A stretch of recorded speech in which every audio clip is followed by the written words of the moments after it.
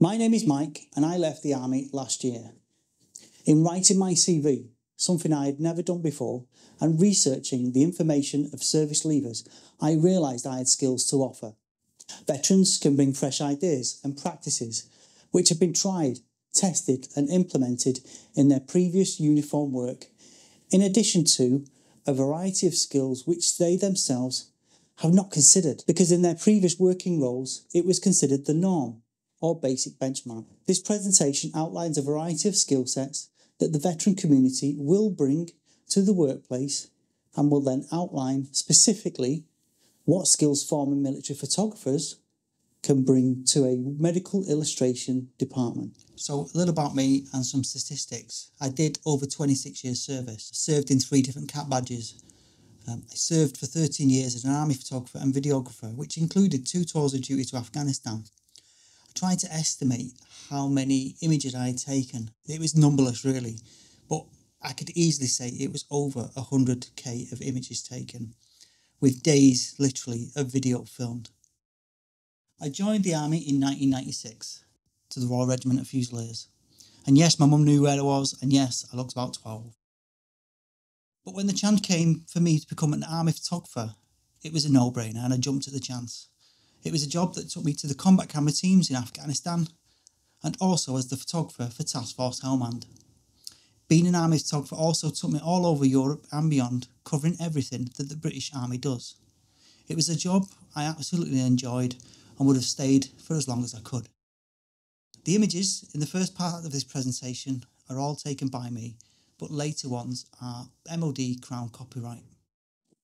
Personal skills. Veterans will have a strong work ethic and will be organised and smart in their appearance and will tackle all tasks given with initiative and a resourceful can do attitude with plenty of injects of humour. The British Army for a long time has had the mantra beg, borrow, steal. This is not in the literal sense, of course, but it's developed soldiers' understanding that they should complete tasks in any way they could using usually under resourced, often critical, out of the box thinking. They will be analytical, they will be able to evaluate data quickly and will be able to communicate this quickly and effectively up and down their command chain. They can listen, they can take orders, but will also know when to give them. For veterans, personal skills training began on the first day of their training and became part of their military life. Motivated.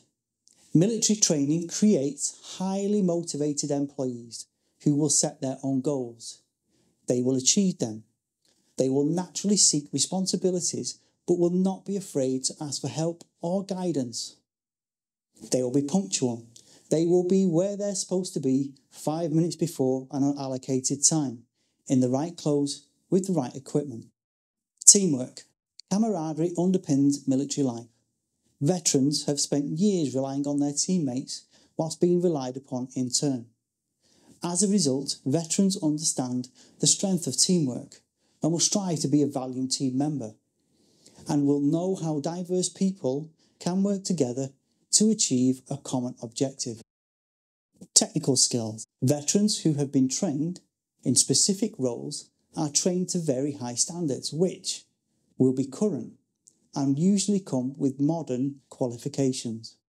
Training will be well structured with no nonsense approach, using maximum resources which are often on par or better than the industry standards. The military uses some of the most sophisticated technology in the world.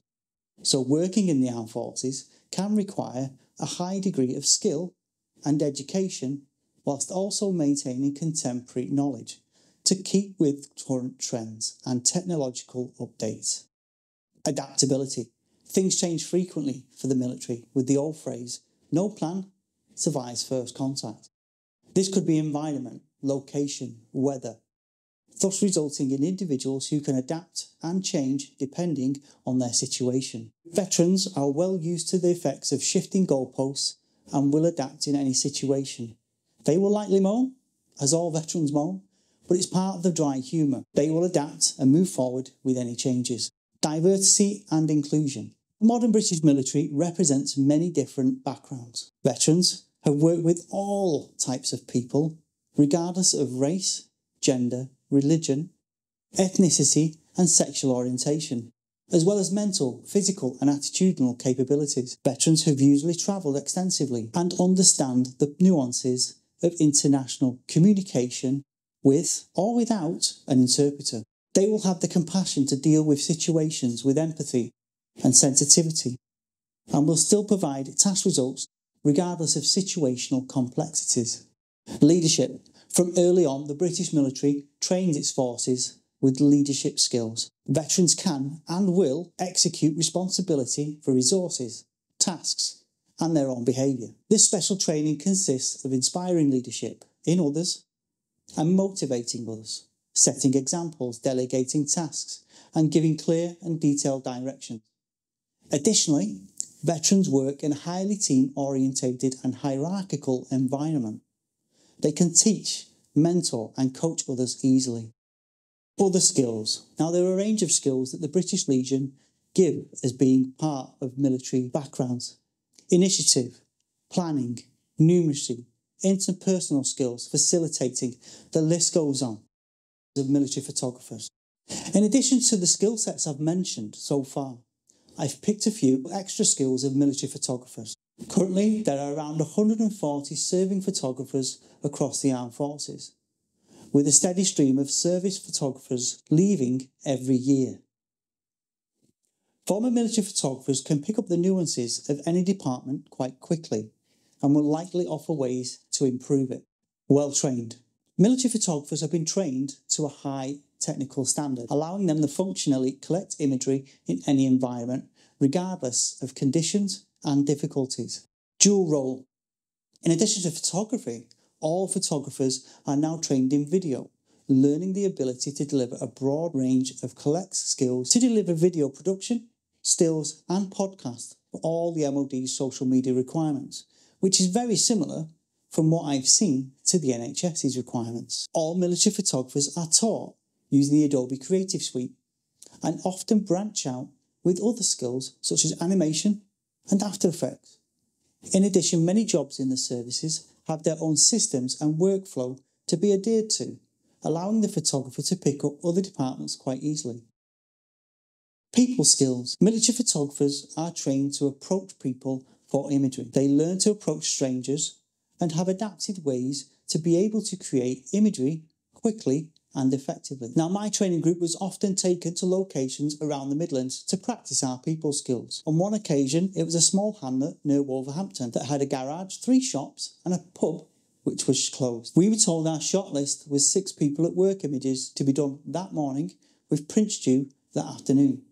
So, you had to be able to quickly build a report, get images, and be gone before the subject was bored. That meant your communication skills and photographic act, as I like to call it, needed to be on point. This training lends itself well to the world of clinical photography. A military photographer veteran can quickly assess a patient and will adapt their given act to suit the patient and provide a service that is sensitive in the approach. Working for the NHS, I've come across a number of similarities. My team at Wythenshawe have been one of the best teams I've ever had and been able to work with. The camaraderie I have received whilst working here has been, you know, eh, like any military department I could have worked in. So much so that I feel that my transition from military to civilian has been made easier for the team that's around me. Its ethos is very similar to what I remember in the army and what I was under in the army. And its values are very similar to my own, similar to that of the armies. There is also the Staff Veterans Network that I'm now also part of and working towards being more involved in. In addition, MFT has signed the Forces Covenant, which basically gives me 10 days special leave per year as I'm now a reservist. MFT also has a gold award from the Defence Employer Recognition Scheme. MFT is also a veteran aware trust and has begun outreach into the community to help with veterans' needs. Finally, I have found the NHS to feel very much like the military. I feel like in joining a medical illustration department, it doesn't feel alien to me due to the many similarities that pertain to the job. Of course, the subject matter is different, but the processes and rules and regulations feel the same. In my view, former military photographers make for good clinical photographers. I used a number of references in this presentation, and my email address is at the bottom should you require it if you have any questions. Thank you for watching.